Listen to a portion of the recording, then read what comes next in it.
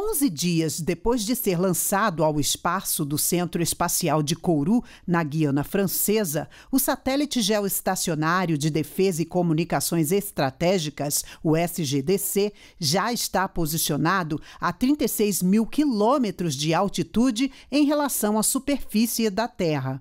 O SGDC é o primeiro satélite geoestacionário brasileiro de uso civil e militar e recebeu quase 3 bilhões de reais em investimentos Investimentos, uma parceria do Ministério da Ciência, Tecnologia, Inovações e Comunicações com o Ministério da Defesa. Agora, o satélite entra em fase de testes por um período de três meses, onde começa a receber instruções por terra por meio desta antena gigante, de 18 metros de altura e 13 de diâmetro, que controla o equipamento.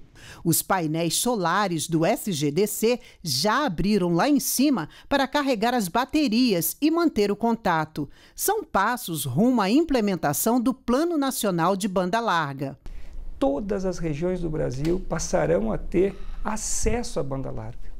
Simultaneamente, a gestão da banda X, que é uma gestão militar, em cima de uma banda que é utilizada para serviço militar, será feito todo pelo Ministério da Defesa e controlado pelo Ministério da Defesa.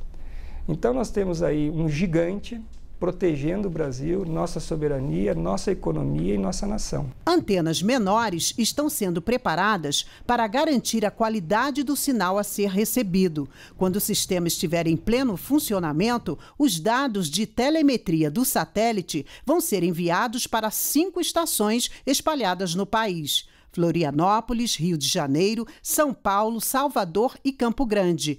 Ao todo, são 300 profissionais envolvidos no projeto. Para o presidente da Telebrás, essa infraestrutura em comunicações, que deve durar 18 anos, eleva o Brasil a um novo patamar tecnológico. Nós estamos vivendo uma era de conectividade. Todas as pessoas precisam estar conectadas.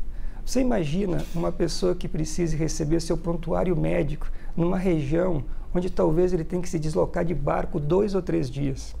Ou um aluno de uma escola de 20, 30 eh, moradores que precisa se conectar com o mundo para ter a mesma informação e o mesmo direito à inclusão, à cidadania. Como é que a gente faz isso num continente brasileiro, que é um país gigantesco? Bom, a gente precisa do satélite. O satélite dá saltos que nos permitem conectar essas pessoas todas. Então, o legado que esse satélite está deixando para o Brasil é um legado de uma revolução nas telecomunicações. O Brasil passa a entrar em um outro patamar de telecomunicações.